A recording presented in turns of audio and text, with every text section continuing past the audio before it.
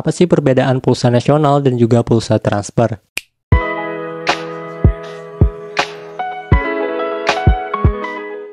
Halo semuanya, selamat datang kembali di channel kurang satu. Di kesempatan kali ini saya akan menjelaskan perbedaan pulsa nasional dan juga pulsa transfer. Jadi banyak teman-teman yang masih bingung apa sih pulsa nasional dan juga pulsa transfer. Jadi di sini perbedaannya itu sangat simpel sekali. Jadi untuk pulsa nasional terlebih dahulu, jadi pulsa nasional ini biasanya di aplikasi server pulsa itu sama saja dengan pulsa reguler. Jadi biasanya beberapa server pulsa itu ada yang menamakan pulsa nasional atau juga yang menamakan pulsa reguler. Jadi pulsa untuk yang nasional ini ataupun reguler ini biasanya dapat menambah masa aktif kartu. Jadi untuk pulsa nasional ataupun pulsa reguler ini itu dapat menambah masa aktif kartu. Selain pembeli membeli pulsa, jadi dapat juga menambah masa aktif kartu si pembeli. Sedangkan untuk pulsa transfer itu tidak menambah masa aktif kartu.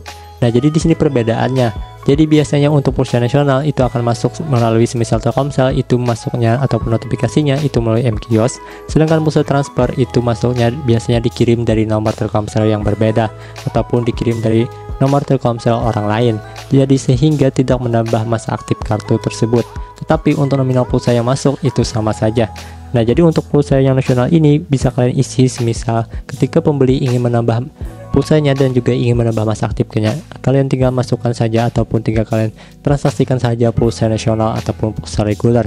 Tetapi jika ada pembeli yang ingin membeli pulsa untuk kebutuhan mendaftar paket kota internet jadi kalian dapat menawarkan pulsa transfer ini. Kenapa? Karena harga pulsa transfer ini biasanya lebih murah dari pulsa yang reguler ataupun nasional. Jadi biasanya untuk pulsa transfer ini untuk nominal yang banyak semisal 50.000 bahkan sampai 100.000.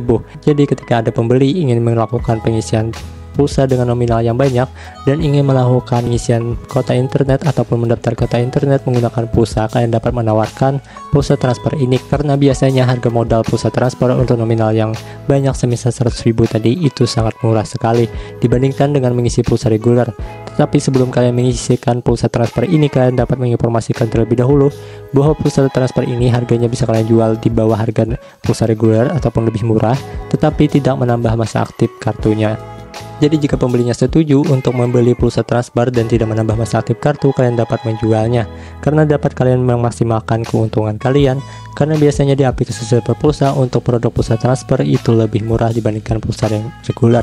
Di perbedaan pulsa transfer dan juga pulsa nasional itu sangat simpel sekali yaitu di mana pulsa nasional itu dapat menambah masa aktif kartu sehingga pulsa transfer itu tidak menambah masa aktif kartu Semoga video ini memberikan manfaat kepada teman-teman dan buat teman-teman yang masih ada pertanyaan bisa tuliskan saja di kolom komentar di bawah dan jangan lupa dukung kami dengan cara like video ini serta subscribe channel ini.